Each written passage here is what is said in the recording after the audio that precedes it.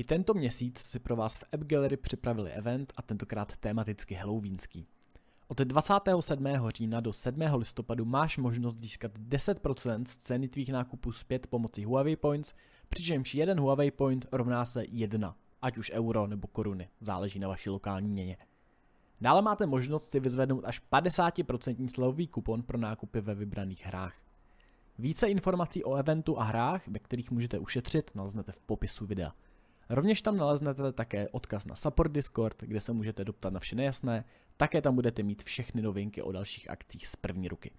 Děkuji AppGallery za sponzorování tohoto videa a my pokračujeme. Představujeme vám návleky na prsty Touch Gear druhé generace. Naprosto essential gadget každého hráče mobilních her. Zákazníky velmi oblíbené návleky na prsty pro hraní na tači se dočkali inovace. Nyní jsou pružnější, prodyšnější, elastičtější, takže obepnou i větší prsty. Do tkaniny byl navíc přidán spandex pro lepší a delší výdrž a větší procento stříbrného vlákna pro lepší responsitu displeje. Nově s barevným detailem a logem. Podívej se sám a vyzkoušej na www.touchgear.cz. Ahoj, já jsem Xero, vítám vás u dalšího videa a v dnešním videu se opět podíváme do obchodu, co tam za vlastně předchozí a i za, vlastně začátek těch pár dní tady tohohle týdne přibylo a tak nějak si popovídáme taky o tom, dá se říct v úvozovkách, nebo on to není mini event, ale uh, aktuálně máme, že Halloween, uh, v Česku dušičky a v Mexiku uh, El Dia de Muertos, uh, což je takový mini bundle, kterým se za chviličku popovídáme. Shop uh, minulý pátek nebyl, Eh, tak je prostě teďka. Eh, není, není v tom jako žádný speciální důvod, prostě, prostě jsem byl, I guess, línej k tomu sednout a natočit to. Uh, jsou tady ovšem nějaký zajímavý tanky, nějaký nový uh, oferky, je, takže se na to podíváme a začneme hnedka těma individuálníma oferkama, kde máme 121 uh, B za 20 000 goldů. 121 B je dle mýho názoru velmi podceňovaný desítkový metko. Vy uh, máte čínský desítkový metko, který vychází uh, pod voskem z klasický 121, ale nemáte to heavynový dílo, máte 350 alfu, uh, máte klasický metkový dílo s výborným gun handlingem. Ten stroj disponuje právě opravdu dobrým dělem, slušnou gun depresí, velmi dobrým DPMkem, nabíjíte extrémně rychle, máte něco kolem 3600-700 DPM. Uh, máte i armor, máte armor překvapivě relativně spolehlivý, třeba v devítkách, na vrchním plátu při nauhlování a na věži a v posledním peči dostalo 121B, uh, taky OP spotřebáky, když si to tady jenom v rychlosti otevřu, tak samozřejmě se jedná o Super Forsáž a nebo reaktivní armor, nebo oba můžete mít, ale doporučuji vozit tady ten setup. A s tímhletím vám vaše 121B najednou drandí přes 60 km za hodinu, což je naprosto famózní. Takže vy máte pohyblivost, máte DPM, máte pancíř a celkově to dělá dobrý máte ještě možnost si sem nahodit provizi pro rychlejší, uh, pro rychlejší náboje, tudíž nemusíte vozit přeplňování tady a můžete si tam hodit Refine Gun pro je, jako ještě menší kruh při doměření. Je to velmi zajímavý stroj, já si troufám říct, že je to jedno z těch lepších desítkových medek, určitě. A za těch 20 000 goldů dostanete skvělý tank, jsou tam i uh, různé goodies, jsou tu bedničky, je tady legendárka, je tady Sandworm avatar, OK? Uh, nějaký pětinásobky vybavení a samozřejmě stání v garáži. Pokud máte rádi ruský metka, například desítkový, nebo prostě ruský metka, high tierový, nebo jakýkoliv jiný metka, který právě jsou podobný těm ruským metkům, to znamená dobrá agilita a v pohodě armor jak na vrchním plátu, tak na věži, tak tímhle tím strojem určitě neuděláte chybu. A pak je tady obrovský balíček uh, zdrojů, to ani nestojí za řeč, a pak jsou tady za 17 doláčů, uh, můžete si koupit dva balíčky, 2000 goldů a mystery certifikát. Z toho mystery certifikátu vám může padnout skoro jakýkoliv prémiák v týru 5 až 10, což je trošku právě to, proč tady ty certifikáty moc nemám rád.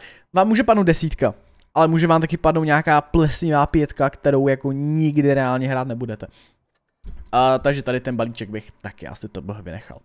Máme tady nový Battle Pass, uh, nový Battle Pass, klasicky Battle Pass je jedna z věcí, které se vyplatí uh, absolutně nejvíc. Ne teda tady ten Extended, ten Extended není potřeba kupovat, pokud nechcete speciální avatar. Uh, Battle Pass za 5 doláčů, každý den si vybíráte odměny, uh, který si nahráváte tím, že prostě hrajete tu hru, plníte mise. Uh, za těch 5 dolarů dostanete strašně moc věcí, goldy, pětinásobky, prémiový tank a uh, tenhle ten měsíc je právě tady ten Churchill 2 TV, Uh, Battle Pass bych rozhodně koupil. Um, někteří lidi píšou, já Battle Pass nekoupím, protože ten tank je úplně jako špatný a nechci ten tank. A ten Battle Pass není o tom tanku, jo? Ten tank je fakt jenom jako příjemný bonus. Uh, co, za co lidi platí převážně, tak jsou všechny tady ty odměny, tady to prémiového pasu. Dokonce i ty kamufláže, kolikrát nejsou úplně špatný. Uh, vys tady toho Battle Passu. Třeba hnedka tady to první kamo vypadá na nějakým PBR tanku opravdu pěkně. Můžeme si ty kamufláže v rychlosti projet. Tohle je teda uh, první kamo, tohle je druhý kamo, to už tak úplně jako hezký není, to první se mi fakt líbilo. Tohle je to druhý, um, tady je třetí, voltage, voltáž, napětí. A mělo by to být ještě jedno, čtvrtý a to toto, to se jmenuje Electric Ben. OK. A nejvíc se mi líbí tady to první kamo, tady to opravdu nevypadá úplně špatně. A, takže máte tam kamufláže, máte tu různé pětinásobky, trojnásobky, 100 eh, tisíce kreditů a samozřejmě na konci Battle Passu si můžete vyzvednout naplněn trezory, kde uh, máte myslím 2000 goldů, 2 miliony kreditů, 50 tisíc freeček, něco takového. Uh, takže prostě Battle Pass se 100% vyplatí. To je uh, tak jakože no-brainer. Licence, licence k Battle Passu za 80 korun holci. Nekoupíte dvě pivka uh, nebo dva cheeseburgery a koupíte si licenci a budete moci ještě rychleji plnit mise. Klasický týdenní low tier balíček, uh, nějakých dvou low tier uh, kolektorů, který jdou prodat za goldy, klasický triček koupíte za 3 doláče, oba ty stroje jdou prodat za goldy, konkrétně za 750 a 650 goldů, to znamená, můžete z toho velmi jednoduše udělat 14 goldů, tím, že ty tanky prostě prodáte hned potom, co ten bundle koupíte. Jednoduchý. Steel Snipers, balíček, uh, T28 HTC a Turtle, Turtle. Tenhle balíček um, takhle. Turtle není zas tak špatný stroj, je to v podstatě Tortoise. Uh, Turtle je želva, že jo, Tortoise je taky želva. Jiný rozdíl v tady těch slovech je, že Turtle je suchozemská a Tortoise je uh, jakoby mořská nebo v obráceně, uh, ale v, um, Britové prostě čerpali tady právě ze zvířecí říše s krunýřema. Na ten stroj 10 stupňů deprese, velmi dobrý DPM, když se na to podíváme v číslech, tak 3000 base, jste schopni dostat reload někam k 6 sekundám s 330 alfou, což je velmi příjemný. Velmi dobrá přesnost, dobrý, eh, dobrý aim time, jak jsem řekl, už 10 stupňů deprese. Docela slušný hečka a armor, který dokáže podržet, ale ne úplně stoprocentně máte 152 mm, uh, jsou tady různé úhly. Uh, samozřejmě, pokud využíváte těch 10 stupňů deprese, výrazně se vám zvyšuje efektivní hodnota toho pancíře, uh, jinak tady nahoře weak spoty a tady na vaně weak spoty. Ale ten stroj není úplně špatný a plus v tom balíčku je uh, k tomu Tutlovi ta želví uh, legendárka.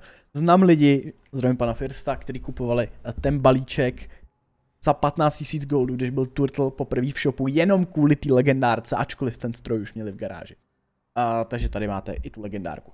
28 HTC, uh, opět další relativně zajímavý stroj, uh, osmičkový TD, který vás, dá se říct, jako připravuje na třeba 28, 95. Uh, jste velmi pomalí, máte dobrý armor, uh, tady to weak spot pro dělá přes 210, 220 mm pene. Tady to jsou velký weak spoty, ale vaší hlavní výhodou je, že ne nadarmo, tady je tady ten kruh, vy máte opravdu odměr, až jako v podstatě za roh. Vy jste schopen to dělo otočit někam sem. Jinými slovy jste doslova schopný střílet za roh a je to takový meme tank. Uh, celkově ten bundle za 9000 goldů, dva tanky, uh, z toho jedna osmička, legendárky pětinásobky. Asi to není úplně špatný kauf. Uh, Dracula Arsenal a Helsing Arsenal, mám pocit, že o těchto balíčkách jsme se už bavili v minulém shopu. Eh, koupíte si tady ten bundle a odemkne se vám tady quest na eh, pozadí na Drákulu nebo Helsinga, záleží samozřejmě, který ten balíček koupíte, kde stačí nahrát 75 000 expů uh, a máte to. Takže pokud by někdo chtěl do pozadí, je tady možnost si koupit balíček a pak splnit ten právě příkaz. Bednička na 121B, uh, to bylo takhle já jsem vlastně koukal do těch, do těch personálních oferek, ale tady je normální oferka na 121B za 15 000 goldů, taky s tím sandwormem, ale není animovaný 25 5 násobků. Tady ten balíček je možná asi ještě víc worth než tam ten.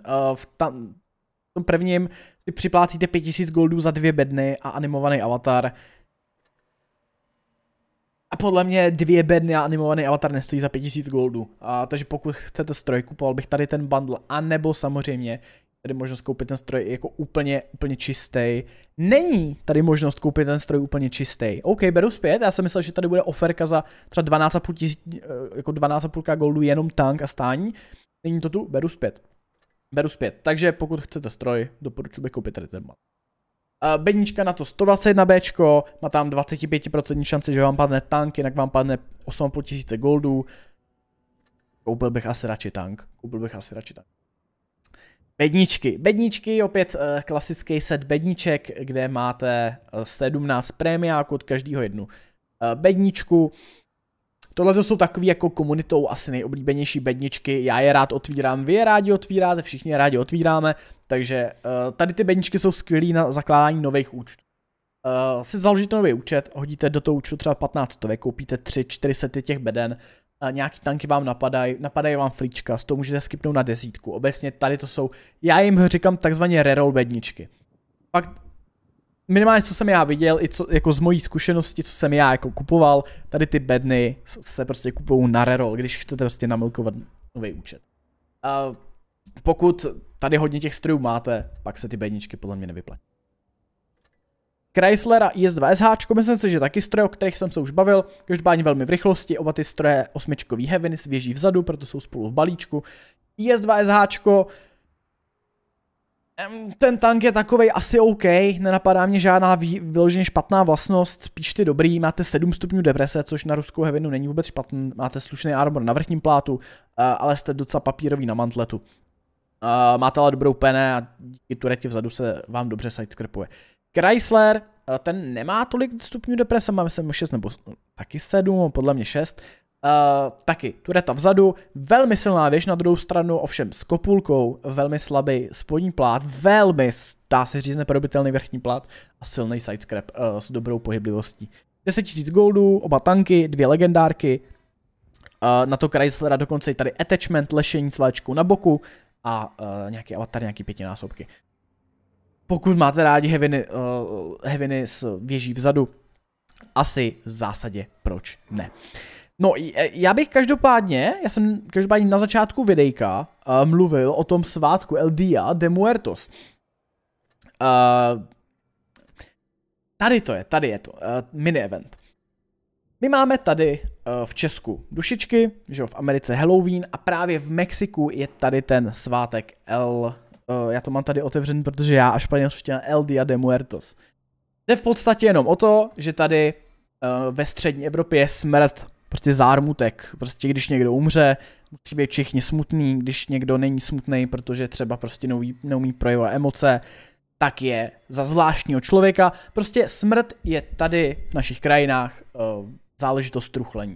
Na druhou stranu v Mexiku, tam se smrt oslavuje. Tam, když někdo umře, udělá se ohromná kalba a oslavuje se jeho život. A právě uh, má motivy tady toho svátku, tak uh, máme tady ve hře mini event uh, na zabití 20 tanků s tím, že uh, si můžete potom claimnout tady, uh, příkaz na tady tady to kamo.